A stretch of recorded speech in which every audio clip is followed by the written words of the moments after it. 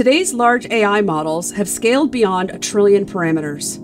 The New York Times reported that AI could soon need as much electricity as an entire country. These trends highlight the need for fundamentally new approaches to AI. At Intel, we are exploring a hyper efficient solution inspired by the brain called neuromorphic computing.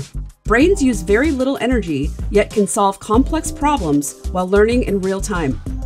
Unlike today's AI systems, the brain relies on sparse and adaptable networks of neurons. By computing only when and where it needs to, brains achieve greater efficiency and faster response times.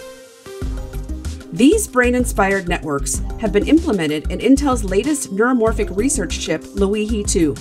In labs around the world, Loihi has demonstrated orders of magnitude gains in power performance over traditional processors. Now, to scale up these gains, we developed Hala Point, a research system with more than 1,000 Loihi 2 chips and a billion spiking neurons.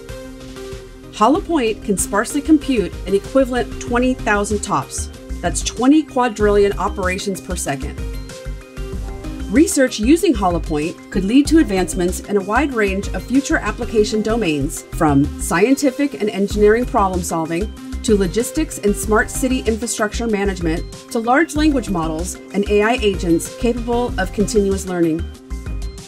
Hala Point is the next milestone in scaling up neuromorphic computing for more sustainable AI. Learn more about neuromorphic computing at intel.com slash neuromorphic.